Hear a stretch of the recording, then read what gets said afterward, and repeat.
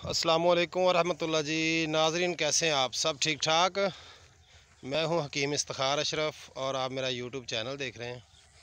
आज मैं लेके आया हूँ आपको अमरूद के बाग में। तो मैं आपको बताऊँगा आज इसके फ़वाद अमरूद के क्या फ़ायदे हैं और इसे कैसे कैसे इस्तेमाल किया जा सकता है।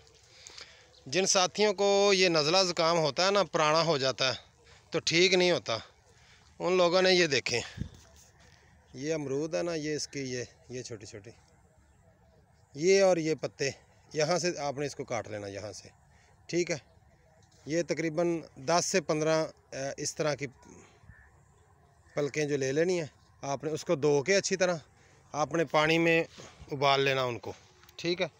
एक किलो पानी में उबालना, जब वो आधा किलो रह जाए ना, उसको उतार लेना आपने। ठीक है जी?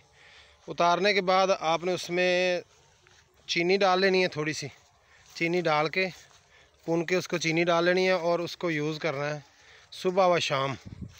बस दो टाइम इस्तेमाल कर लें तो दो टाइम काफ़ी है इन अल्लाह रब्बुल इज़्ज़त जितना भी पुराना हो गया ना नज़ला ज़ुकाम इन ठीक हो जाएगा इससे।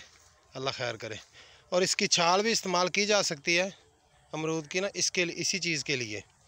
तो ये जो बलगम और ज़्यादा केरा वगैरह हो जाता है, वो छाल उसमें वैसे यूज़ करते हैं।